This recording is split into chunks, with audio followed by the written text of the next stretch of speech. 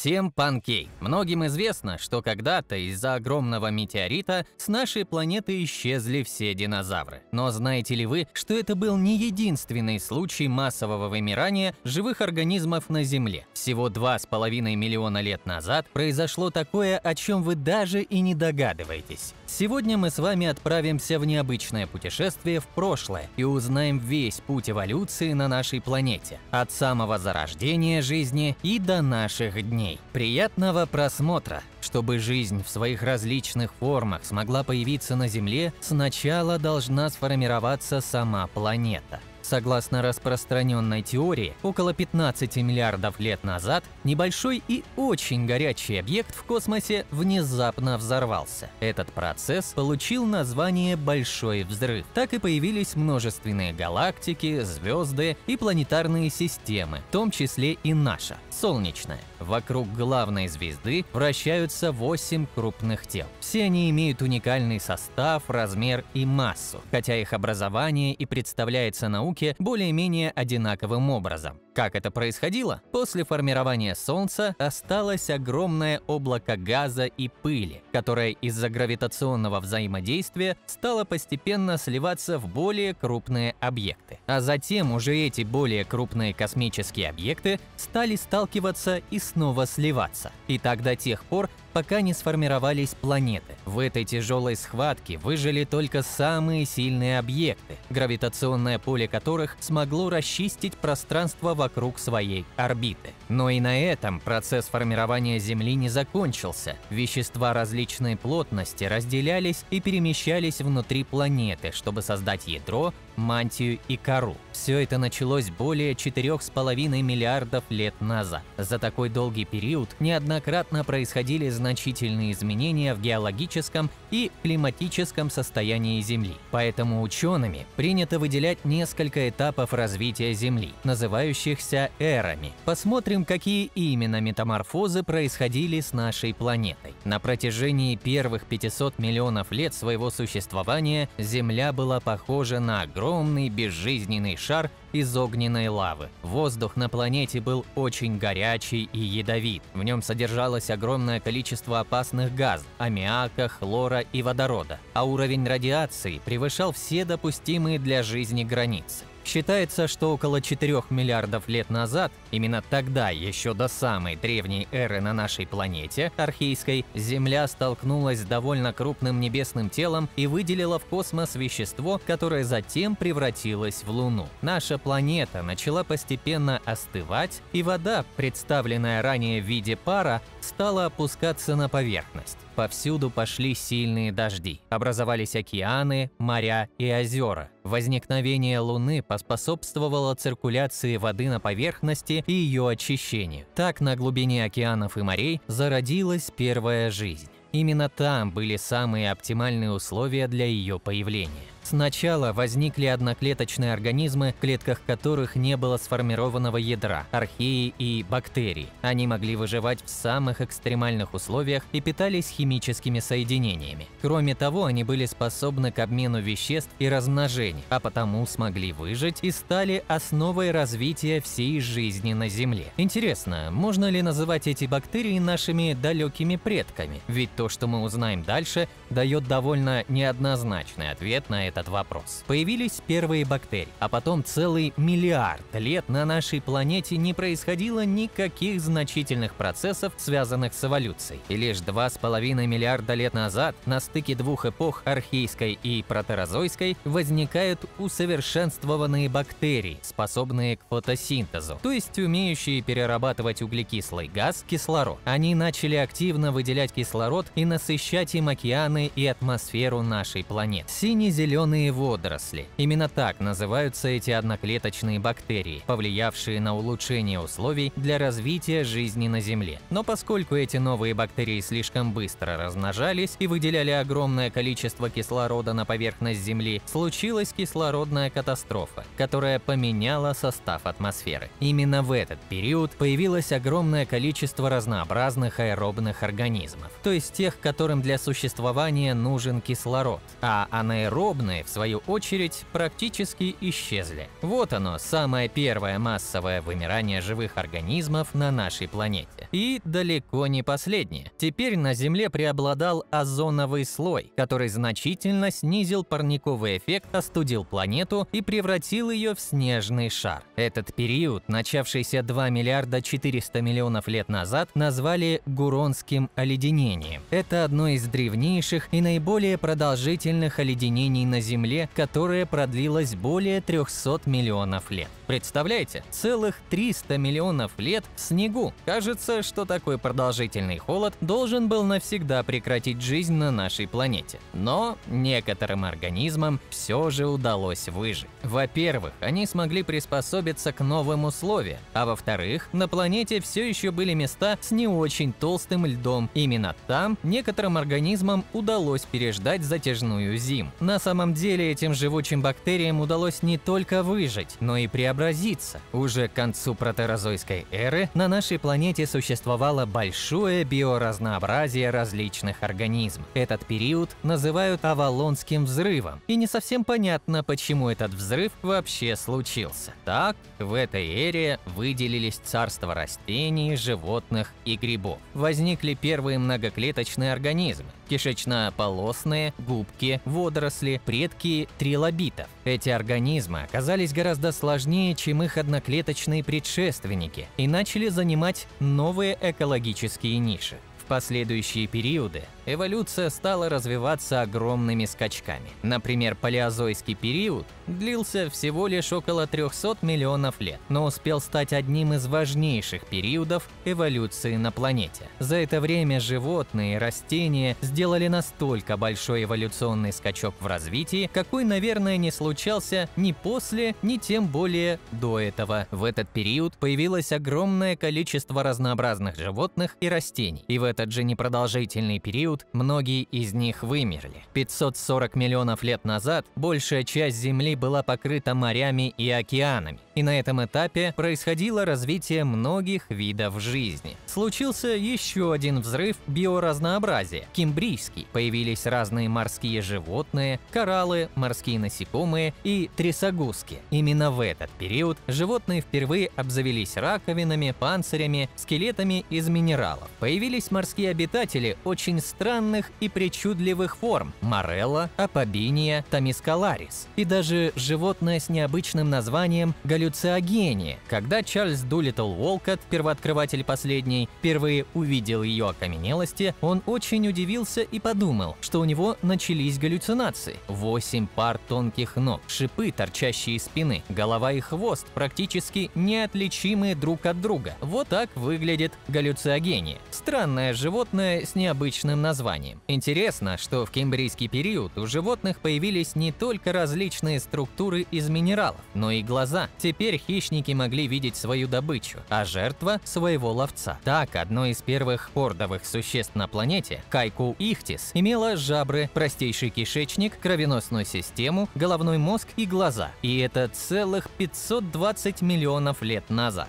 Во время палеозойской эры также произошли значительные изменения в климате, которые привели к тому, что Земля покрылась густыми лесами. И пока водные обитатели или же рыбы эволюционировали в море, растения и животные других классов уже выбирались на сушу. Например, членистоногие, то есть насекомые, начали активно заселять нашу планету. Они, кстати, были огромных размеров. Это сейчас мы привыкли видеть муравьев, пчел и стрекоз маленькими, а размах крыльев в древней стрекозы Меганевры достигал целого метра, а уже к концу палеозойской эры на Земле появились первые позвоночные животные. Одними из самых первых таких животных, которых причисляют уже не к рыбам, а к земноводным, стали ихтиостеги. Они жили около 365 миллионов лет назад. Длина их тела достигала 1 метра, а лапы имели по 7 пальцев. И хотя ихтиостеги уже и имели лапы вместо плавников, они все еще с трудом могли передвигаться по суше и вели полуводный образ жизни. А потом уже стали появляться амфибии и рептилии. Это был очень важный шаг в развитии жизни, потому что он открыл дверь к появлению динозавров и млекопитающих в будущем. Но в конце палеозойской эры произошло одно из самых важных вымираний в истории Земли, названное Пермским. Это уже третье вымирание в нашем списке. Около 95% видов животных и растений погибли в результате этого события, которое было вызвано многими факторами, включая изменения в климате и геологические процессы. Планете пришлось начинать все практически сначала. На Земле после пермского вымирания остались лишь самые мелкие животные, но уже через 50 миллионов лет вся Земля была заселена гигантскими динозаврами. Мезозойскую эру так и называют – эпоха динозавров. Они появились, расселились и исчезли с лица нашей планеты именно в это время в течение 168 миллионов лет.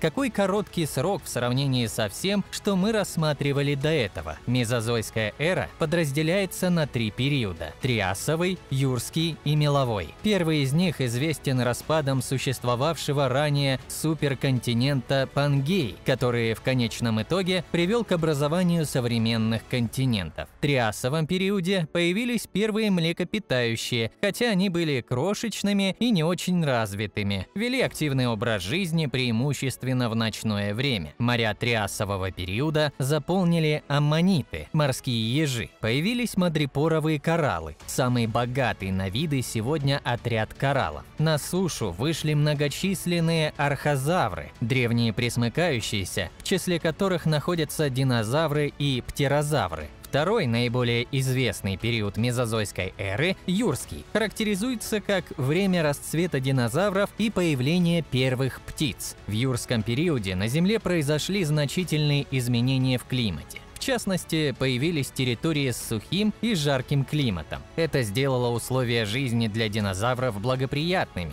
а поэтому их популяция достигла своего расцвета. Возникли тысячи различных видов этих присмыкающихся, каждый со своими особенностями строения и существования. Последний меловой период длился примерно 80 миллионов лет. В это время произошли значительные изменения в мире животных и растительности. Появились первые цветущие растения, растения, количество млекопитающих стало значительно увеличиваться, хоть они и не играли какой-нибудь существенной роли в жизни планеты. Тогда Земля уже была практически похожа на современную. Сформировались континенты, океаны и горные массивы. А потом динозавры вымерли. И это уже четвертое вымирание в нашем путешествии в прошлое. Существует несколько гипотез о том, почему динозавры исчезли с нашей планеты. Больше всего сторонников и подтверждений имеет теория столкновения с Земли с гигантским астероидом. Столкновение произошло на территории полуострова Юкатан в Мексиканском заливе. Метеорит имел диаметр около 10 километров. Длина его была столь огромна, что когда одна его часть коснулась воды в заливе, другая находилась еще в верхних слоях атмосферы, и после его падения образовался кратер диаметром 160 километров. Однако все же не все ученые верят, что даже такое сильное столкновение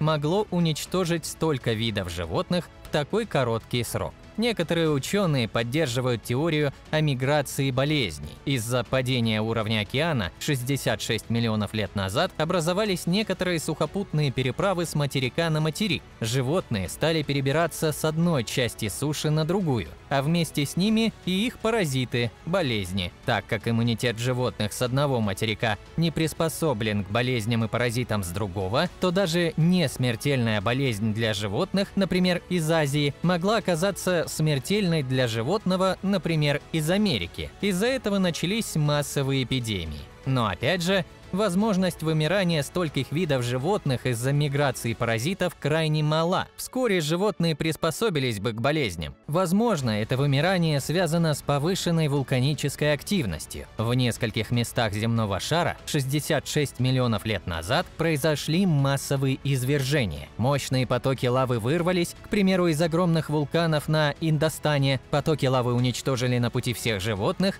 и места их обитания. Еще более опасными были вырывания вырывающиеся из вулканов ядовитые газы. От них умирали еще не вылупившиеся детеныши живших в то время динозавров и задыхались взрослые животные. В общем, всем известная история о метеорите может быть на самом деле чем-то иным. Важно лишь то, что несмотря на вымирание динозавров, млекопитающие и другие живые организмы выжили и продолжили эволюционировать в следующую эру – кайнозойскую. Кайнозойская эра – это последний на данный момент временной отрезок в истории Земли, который продолжается уже более 66 миллионов лет. В эту эру мы живем и сейчас. Начало этого периода характеризуется расцветом млекопитающих. Они становятся господствующими формами жизни на Земле, заняв освободившиеся после вымирания динозавров экологические ниши. В этот период появились многие известные нам животные, такие как слоны, львы, тигры, киты, дельфины и приматы, а также многие другие виды яйцекладущих и сумчатых млекопитающих. Также после катастрофы быстро восстановилась растительность. Уже через 5 миллионов лет вся Земля была покрыта джунглями и болотами. В этот период продолжался дрейф континентов. На каждом из них сформировались уникальные сообщества растений и животных. Климат становился более континентальным, появились ледяные шапки на полюсах. Кажется, все стало складываться благоприятным образом для многочисленных жителей планеты. Но около двух с половиной миллионов лет назад на Земле наступило то самое событие, о котором мы говорили в начале ролика. Начался длительный ледниковый период. В течение двух миллионов лет на планете многократно чередовались очень холодные и относительно теплые промежутки времени. Холодные промежутки, которые продолжались примерно 40 тысяч лет, континенты подвергались нашествию ледников. В промежутках с более теплым климатом льды отступали и уровень воды в морях поднимался. У многих животных холодных регионов планеты, например, у мамонта и шерстистого носорога, появился густой шерстный красный покров и толстый слой подкожного жира. На равнинах паслись стада оленей и лошадей, на которых охотились пещерные львы и другие хищники. А приблизительно 180 тысяч лет назад на них начали охотиться и люди. Сначала неандерталец, а затем и человек разумный. Многие крупные животные не смогли приспособиться к резким колебаниям климата, влиянию человека и вымерли. Около 10 тысяч лет назад ледниковый период окончился, и климат на Земле стал более теплым и влажным. Это способствовало быстрому увеличению численности человеческой популяции и расселению людей по всему земному шару. Они научились распахивать землю и выращивать культурные растения. Маленькие поначалу сельскохозяйственные общины разрослись, появились города, а всего через несколько тысячелетий человечество превратилось в мировое общество, использующее все достижения высоких технологий. Зато Зато многие виды животных, с которыми люди испокон веков делили планету, оказались на грани исчезновения. Вот почему ученые часто говорят о том, что по вине человека на Земле разразилось новое массовое вымирание видов. Сегодня мы находимся в кайнозойской эре и продолжаем вносить свой вклад в изменение окружающей среды. Некоторые ученые называют этот период антропоценом. Это этап в истории Земли, который начался в конце 18 века и продолжает продолжается по сей день. На этом этапе человеческое влияние на планету стало более заметным, и произошли многие изменения в окружающей среде, включая изменение климата, загрязнение воды и воздуха, разрушение лесов и снижение биоразнообразия. Тем не менее, на этом этапе были сделаны значительные научные открытия и технологические прорывы, которые позволили человечеству лучше понимать нашу планету. Вот такой долгий и сложный путь прошла планета Земля, от зарождения до наших дней. Процессы, произошедшие миллионы и миллиарды лет назад, повлияли на нашу жизнь и существование существовании, а теперь человечество влияет на развитие жизни на планете. Важно помнить, что Земля уникальна, и бережное отношение к окружающей среде необходимо для сохранения ее богатства и разнообразия жизни. Спасибо за просмотр.